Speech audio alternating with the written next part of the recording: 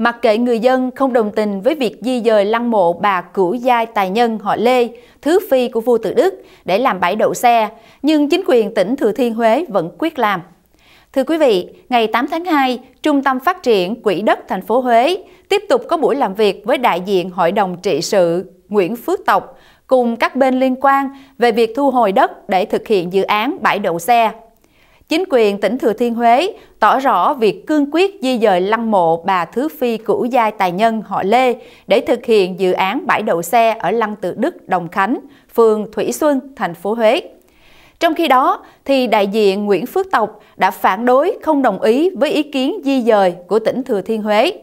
Ông Tôn Thức Giáp, đại diện Hội đồng trị sự Nguyễn Phước Tộc cho biết, từ khi xảy ra vụ lăng mộ bà Thứ Phi bị sang ủi, thì Nguyễn Phước Tộc đã nhiều lần có đơn kiến nghị gửi Ủy ban tỉnh Thừa Thiên Huế. Nhưng đến nay thì Hội đồng trị sự chưa nhận được văn bản hội âm của chính quyền. Thế nhưng ngày 5 tháng 2, tại cuộc họp báo thường kỳ, thì ông Nguyễn Văn Cao, Chủ tịch Ủy ban Thừa Thiên Huế cho biết là tỉnh đã có kết luận và vẫn quyết định di dời ngôi mộ này để thực hiện dự án đồng thời giao cho Ủy ban thành phố Huế vận động những người liên quan trong Hội đồng trị sự Nguyễn Phước Tộc tại Huế đồng ý để di dời ngôi mộ đến vị trí mới.